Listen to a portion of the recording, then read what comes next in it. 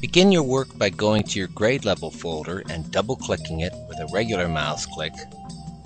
Then go to your folder and double click it. Find the file that you downloaded. In this case it's paint file BMP and it's 3D home. Now we're going to open this up and be sure to resize it so that you can see your video instruction at the same time. And this drawing is to scale each block equals 4 feet.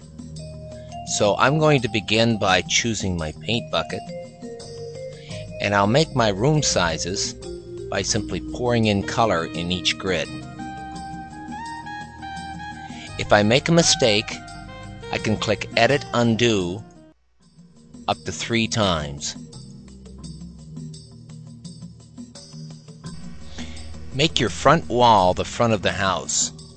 And I'm going to draw a door swing into the house.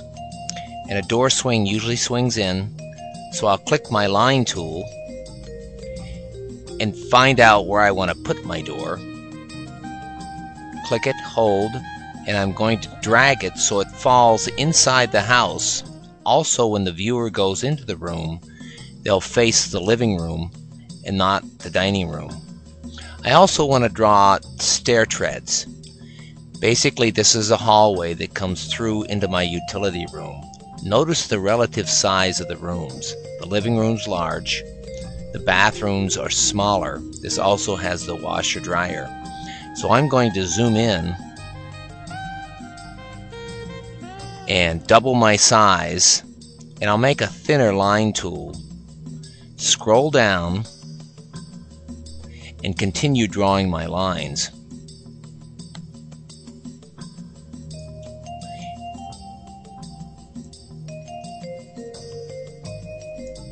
In this case, my stairs will go up at an angle this way, and I have to go through this passage to get to the bathroom utility room downstairs. If I want to unzoom this, I'll click it and just simply click surface.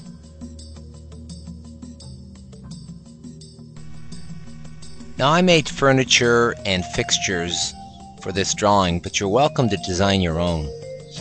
To place your furniture on the page, click the select icon, go back and capture an object.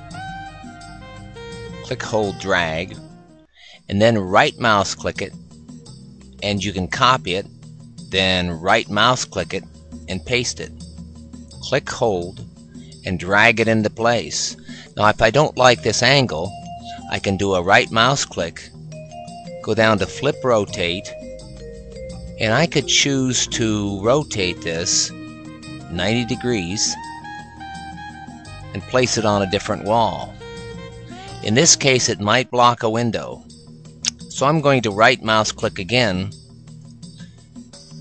and then flip it horizontally. Click hold and drag it on the back wall. If for some reason you release it someplace and click off cell and it isn't where you want it to be, you can click Edit Undo. Each one of these, if you copy it, you can go back and use it again. Also, you'll find these clear and you'll need to custom color it in order to put them on. If for some reason you capture one, copy it,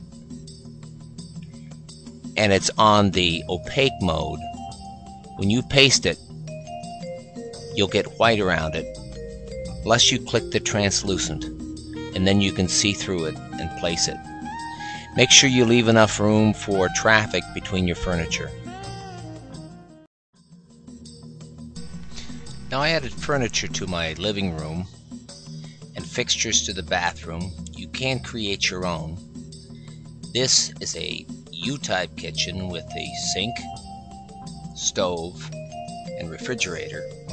But what I want to do is show you how to draw the exterior doors and windows. This dotted line is the top of the doors and windows. The top should line up. Also, you'll need to erase all your text. These are simply notes to help you. But what I'm going to do is capture my window by clicking, holding, dragging, capturing it, right mouse click copy, right mouse click paste, drag it down in place. You're welcome to make your own doors and windows.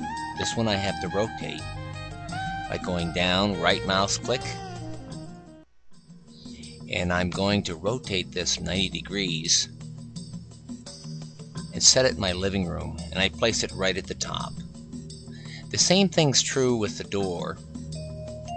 Click it, hold it, copy it. Now I can come down to where I want it to put it in place. Paste it. Drag it over. Notice how it's translucent here. Now I'm going to do a right mouse click and I'm going to rotate it 90 degrees. Now this part's confusing. I'm going to line it up with my door swing on the floor plan.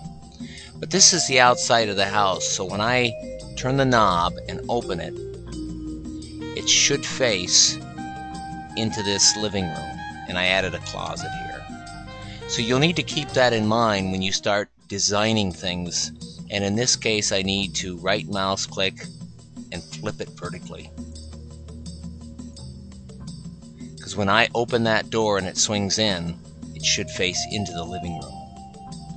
And then you can choose color and color your walls or add texture to it and also place shingles on top of your roof. I'll let you decide that.